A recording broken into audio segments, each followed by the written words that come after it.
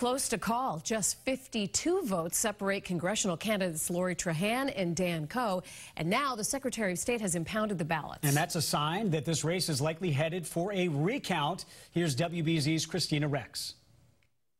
This race proves what we knew all along that every vote truly counts. Unofficial District 3 Democratic primary winner Lori Trahan only holds the race by 52 votes over her closest challenger, Dan Koh.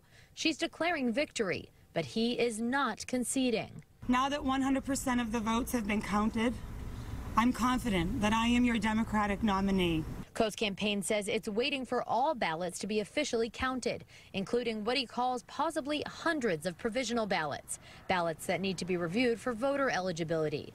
A recount is not automatic, but Koh's campaign is pursuing one, a reality that Trahan saw coming on election night. Absolutely. You know, we'll, uh, we obviously want everyone to be confident in the results of this election. Should that recount not go in his favor, his campaign says he's ready to throw his support behind Trahan, writing, if at the end of this process Lori is declared the winner, Dan will offer his enthusiastic support for her in the general election.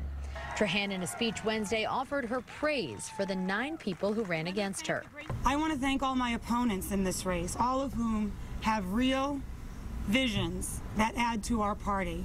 Dan Koh's campaign has until Friday to collect 500 signatures and petition for that recount. Now, because the margin is so close in this case, it would be a district-wide recount, meaning that votes would be hand-counted in every city and town in the district. In Andover, Kristina Rex, WBZ News.